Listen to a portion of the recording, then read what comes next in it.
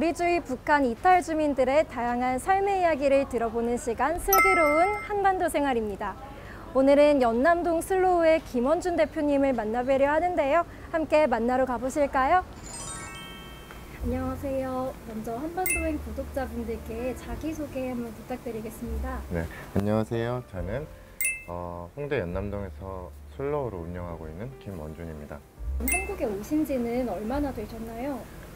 어, 저는 2007년에 와서 지금까지니까 한 16년 차 한국 생활을 하고 있습니다. 네. 한국으로 와야겠다고 생각하셨던 어떤 계기가 있으셨을 것 같아요.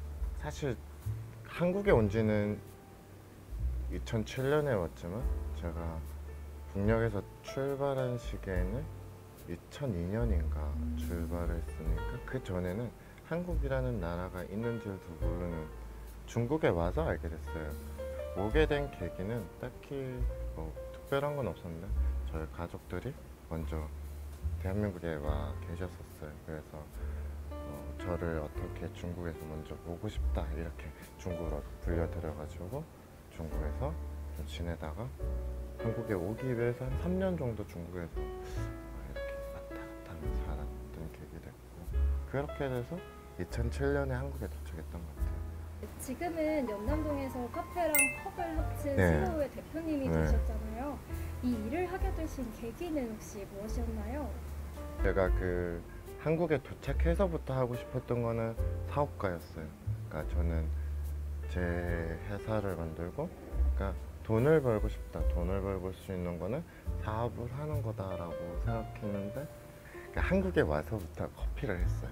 외국에 가서도 커피 좀 하고, 누구도 걱정 안 하고 논하지 않을 만큼 제가 커피를 할 수 있는데, 카페가 우리나라에 너무 많고, 제가 왜 이런 거를 만들었냐 조금 힘, 더 힘들거든요 카페보다는 조금 저는 하고 싶은 게 있어서 순차적으로 뭔가를 하고 만들어 가려고 지금 선택했던 것 같아요 요즘 일을 하실 때 가장 보람을 느끼시는 순간은 좀 언제이신가요?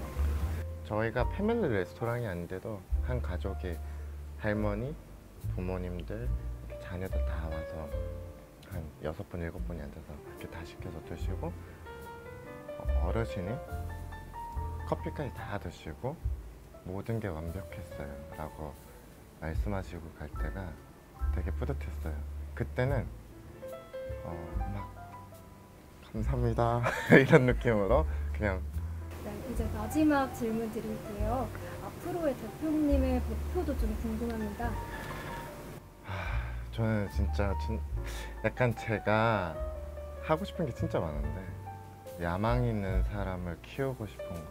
또 누군가가 추구하는 삶의 목표성에 근접하고 도달하게끔 할, 할 때까지 도와줄 수 있는 사람. 그런 조력자가 되기 위해서 어떤 경험과 어떤 말뿐만이 아니라 어떤 영향력을 가져서 그 사람에게 실질적으로 도움이 되는 것들을 제시해 줄 수 있는 사람 그러기 위해서는 앞으로 내가 무엇을 어떻게 차근차근 준비해서 나가야 되는지를 계속 생각하고 있는 것 같아요.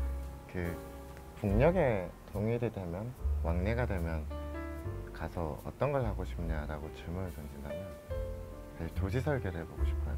그것 때문에 대한민국에서도 먼저 도시 설계를 할 수 있는 힘을 기르는 것 한번 해보고 싶어요. 전 도시가 설계가 잘 되면 100년 그냥 도시 설계 하나로만 해도 100년, 200년, 500년을 먹고 살 수 있는 도시가 될 수 있다고 생각하는 쪽이어서 네 그런 거였는데 하고 싶은 게 진짜 많아요.